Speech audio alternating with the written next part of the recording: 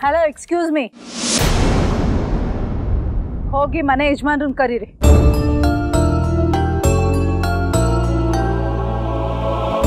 ಏನು ಹಾಗೆ ನಿಂತ್ಬಿಟ್ರೆ ಅರ್ಥ ಆಗ್ಲಿಲ್ವಾ ಹೋಗಿ ಮನೆ ಯಜಮಾನ್ರನ್ನ ಕರೀರಿ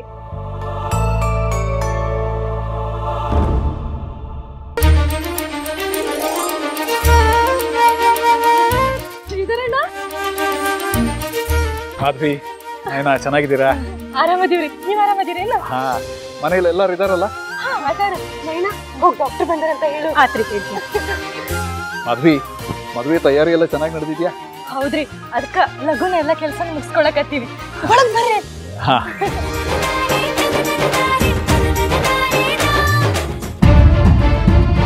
Shridhar what's wrong with you servants ಹತ್ರ ನಿಮ್ ಮನೆಯವ್ರ ತರ ಮಾತಾಡ್ತಿದ್ಯಲ್ಲ?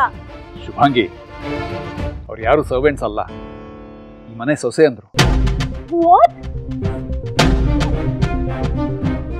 ಮೊದಲು ಒಳಗೆ ಹೋದ್ಲಲ್ಲ ಅವಳು ಶಶಾಂಕ್ ಅತ್ತಿಗೆ. ಆಮೇಲೆ ಒಳಗೆ ಹೋದವಳು ಶಶಾಂಕ್ ಚಿಕ್ಕಮ್ಮ. ವಾಟ್ ರಬೀಶ್ ನಮ್ ದಿಯಾ ಈ ಮನೆಗ್ ಮದ್ವೆ ಆಗಿ ಬಂದ್ಮೇಲೆ ಅವಳು ಈ ಕೆಲಸ ಎಲ್ಲ ಮಾಡ್ಬೇಕಾ? ಈ ಮನೆಯವ್ರಿಗೆ ಒಬ್ಬ ಕೆಲ್ಸದವ್ರನ್ನ ಇಟ್ಕೊಳ್ಳೋ ಯೋಗ್ಯತೆನೂ ಇಲ್ವಾ? ಮಾತಾಡು ಶುಭಾಂಗಿ. ಕೆಲಸದವ್ರನ್ನ ಇಟ್ಕೊಳ್ಳೋದು ಯೋಗ್ಯತೆ ಅಂತ ತೋರಿಸುತ್ತಾ? ಅಮೆರಿಕಾದಲ್ಲಿ ನಿನ್ನ ಮನೆ ಕೆಲಸ ಮಾಡೋದಕ್ಕೆ ಆಳುಗಳನ್ನ ಇಟ್ಕೊಂಡಿದ್ಯಾ? ನಿನ್ನ ಕೆಲಸ ನೀನೇ ಮಾಡ್ತಾ ಇದ್ದೆ ತಾನೇ?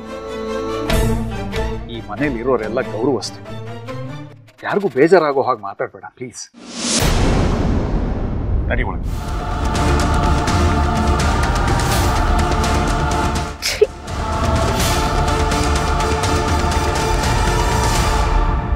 ಶುಭಾಂಗಿ. ಈ ಮನೇಲಿ ಚಪ್ಪಲಿ ಹಾಕೊಂಡು ಓಡಾಡೋ ಅಭ್ಯಾಸ ಇಲ್ಲ. ಚಪ್ಪಲಿ ಇಲ್ಲೇ ಹೊರಗಡೆ ಬಿಟ್ಬಿಟ್ಟು ಹೋಗಬೇಕು. ಐ ಆಮ್ ಸಾರಿ ನೀವು ಬೇಕಾದ್ರೆ ಬಿಟ್ಬಿಟ್ಟು ಹೋಗಿ. ನನಗೆ ಚಪ್ಪಲಿ ಇಲ್ದಲೆ ಓಡಾಡಿ ಅಭ್ಯಾಸ ಇಲ್ಲ. ನಾನು ಹೀಗೆ ಬರ್ತೀನಿ.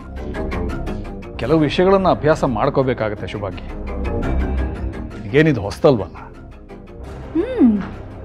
ತುಂಬ ಚೆನ್ನಾಗಿ ಟಾಂಟ್ ಕೊಡ್ತೀರಾ? ಈಗಂತೂ ಇನ್ನೂ ಚೆನ್ನಾಗಿ ಕಲ್ತಿದ್ದೀರಾ? ನಿನ್ನ ಹತ್ರನೇ ಕಲ್ತಿತ್ತಾನೆ ನಡಿ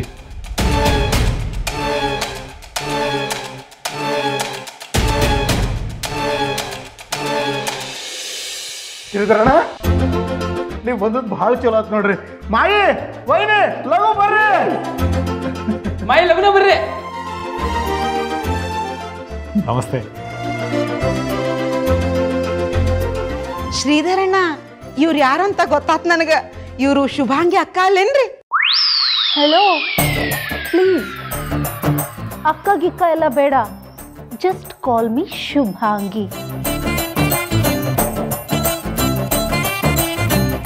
ಅರ್ಥ ಆಯ್ತಾ ಶು ಭಾ ಗಿ ಅಷ್ಟು ಸಾಕು